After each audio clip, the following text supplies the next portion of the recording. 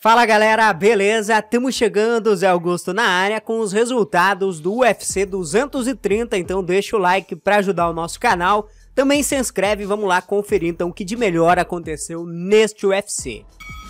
E vamos falar agora aqui da primeira luta do card principal, que foi essa luta aqui, ó, Israel Adesanya contra o Derek Brunson.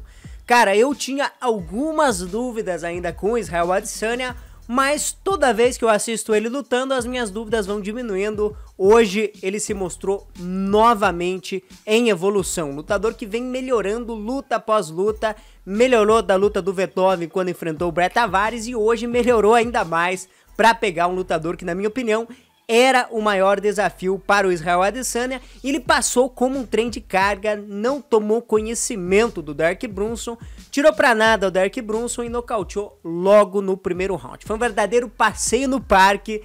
Como ele disse ali na entrevista, o Derek Brunson não começou mal a luta, ele foi para cima do Israel Adesanya e logo clinchou e levou a luta ali pra grade. O Brunson tava fazendo muita força, mas o Adesanya com uma excelente defesa de quedas conseguiu ev evitar todas as investidas ali do Derek Brunson.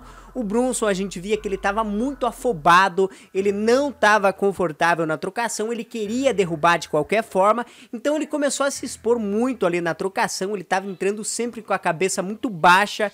E o Adesanya estava sempre buscando ali entrar com contragolpes. E quando o Brunson tentou entrar em queda, o Adesanya emendou uma joelhada de encontro que pegou no queixo ali do Derek Brunson. O Brunson ficou muito mal.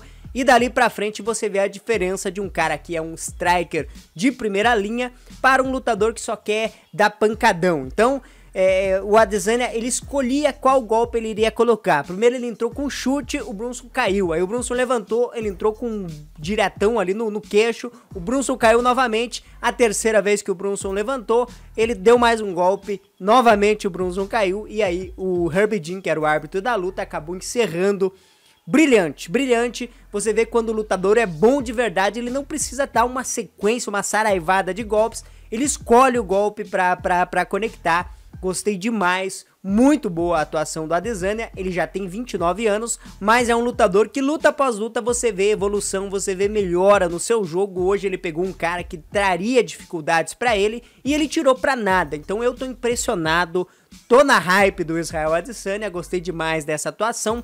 E vamos aguardar agora, porque daqui para frente tem muito cara bom aí no top 5 da divisão. Eu acho que ele já vai é, pintar pelo menos entre os 10 do ranking, talvez já pinte ali próximo do top 5. Ele pediu inclusive uma vaga no top 5 na entrevista, mas a gente tem muitas opções aí de luta agora para ele.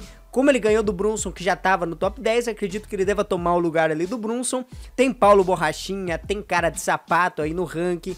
Pra frente dele aí tem Chris Weidman, tem Luke Rockroad, tem Romero, tem é, o Gastelum que vai pegar o Robert Whittaker. Então tem muita luta legal pra gente acompanhar o Adesanya. Mas se ele continuar dessa forma, melhorando a defesa de quedas, evitando de ir pro chão com os adversários, como ele fez hoje, e do jeito que ele troca, do jeito que ele é preciso na trocação, é muito difícil você ganhar dele na luta em pé. Então, Vamos aguardar para ver, mas tá mandando bem demais o Israel Adesanya e venceu o Dark Brunson nocautão aí logo no primeiro round.